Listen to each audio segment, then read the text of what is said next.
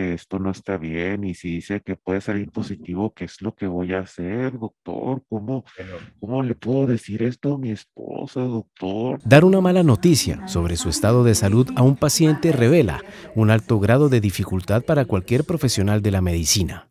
Justamente una ponencia presentada por la UNAP en el reciente Congreso Nacional e Internacional de Simulación Clínica resultó destacada por su novedosa estrategia. Nuestro proyecto que trataba sobre comunicación de malas noticias eh, tenía mucha pertinencia, eh, fortalecimos en los estudiantes de posgrado de especialidades médico-quirúrgicas estas competencias utilizando una estrategia muy innovadora que fue la simulación virtual mixta.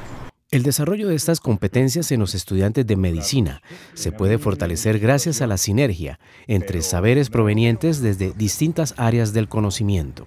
En este caso se identificaron las competencias, eh, las herramientas que tenía ingeniería y las necesidades en medicina y pudimos llevar ese, ese trabajo en grupo desde una potencialidad que en su momento era, ahora es una realidad, la simulación virtual mixta, para una necesidad que teníamos en la formación de competencias de la comunicación de malas noticias en los estudiantes de posgrado.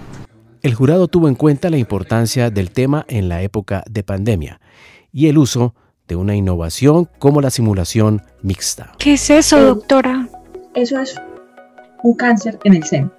No, no, ¿cómo así, doctora? ¿Cómo así? Las simulaciones le permiten a, los participantes, en este caso médicos, a que literalmente prueben cómo sería dar una mala noticia.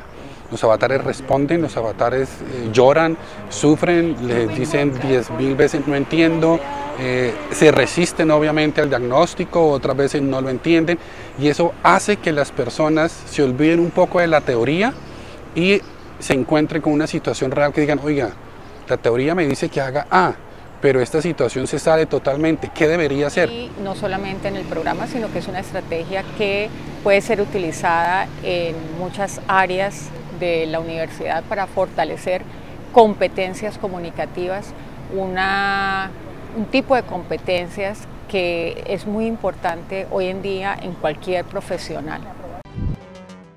Eres tú, eres UNAV, Universidad Autónoma de Bucaramanga, vigilada Mineducación.